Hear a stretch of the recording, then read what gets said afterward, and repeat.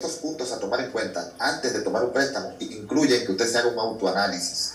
¿Cuál es el autoanálisis principal? El que dice si usted califica para el préstamo y no va a gastar tiempo y talento y hasta dinero para poder entonces eh, al final ser rechazado si no organiza bien esos puntos a tomar en cuenta. Por ejemplo, entre los requisitos a tomar en cuenta, usted debe de tener primero todas sus eh, documentaciones al día. Eh, esto se le va a pedir junto, dependiendo cuál sea el préstamo, con una garantía. Si usted tiene ya identificado el garante para su préstamo, esto es importante porque ese garante va a ser solidario con la deuda. Obviamente, si es un préstamo, por ejemplo, hipotecario, el préstamo va a incluir que la garantía es prendaria, en este caso, el apartamento o la casa que usted está adquiriendo, o la garantía prendaria de un préstamo de vehículo, que también incluye que es el, la prenda, el, el, activo que usted está teniendo, eh, que está obteniendo, el que va a calificar como la garantía de ese préstamo.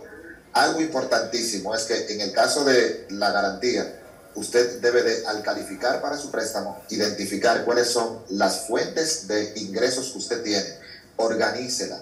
Y si usted es un empleado libre, usted tiene que organizar plan de negocios que tiene, eso se lo van a pedir en el banco, y también los resultados de los últimos estados de cuenta, o sea, cómo ha ido su negocio eh, eh, caminando o si es un préstamo personal, cómo ha ido sus ingresos y egresos manejándose. Esto es importantísimo porque ¿qué hace el oficial cuando le presta o cuando aprueba su préstamo?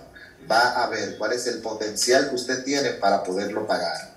Y, y eso va a depender de los ingresos que usted tiene, debe de tener su carta de ingresos y de los ingresos extra que usted puede también tener. En algunas instituciones le van a pedir también cuáles son la composición de sus gastos fijos y gastos variables. Para eso usted tiene que identificarlo muy bien. Y obviamente, un préstamo siempre estará en función de esa capacidad de pago que usted tenga. Por eso, pida en función de lo que usted puede pagar mensual. Para ahí o para esa parte vienen entonces las tasas de interés. Una tasa de interés es ese dinero extra que el banco cobra por el riesgo de haberle prestado. En ese caso, las tasas de interés usted puede ver muy bien cuáles son eh, porque están publicadas online. Todos los bancos tienen el compromiso de identificar cuáles son las tasas preferenciales o no que van manejando. Y hay muchas ofertas porque la banca es un comercio que está en competencia. Obviamente, el Banco Central también, con sus, eh, con, sus manejos de la macroeconomía, puede incidir en que una tasa baje o una tasa pueda crecer o, o disminuir. En el caso de los préstamos y las tasas de interés, busque las mejores tasas de interés. Mi recomendación, elija el banco al cual quiere o, tiene el interés de presentarse y hable directamente con el oficial. Cada oficial tiene un rango para poder manejar entre... Sí. ¿Cómo usted recomienda que hagamos nuestro préstamo, lo solicitemos? ¿A mayor plazo para pagar menos mensualmente o eso eh, contrarresta con el tema de los intereses y también hay algunas entidades bancarias que te dan tasa fija por un año, por tres años, por cinco y hasta por quince. Sí, sí, excelente su pregunta, Rosa, excelente.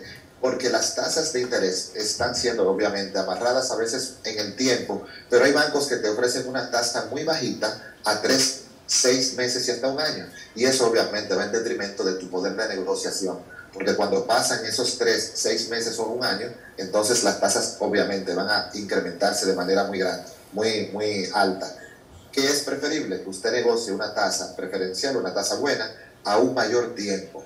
Claro, si usted tiene la capacidad económica para pagar más rápido, no se amarre a un préstamo de 20 años.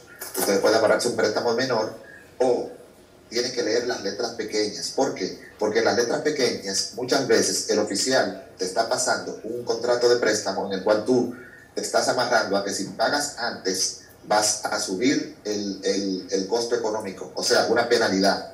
No puedes aceptar una penalidad cuando tú estás cumpliendo con el banco. Obviamente eso es negociable. Y en las letras pequeñas muchas veces te, te penalizan por pagar antes de lo que te has comprometido a pagar.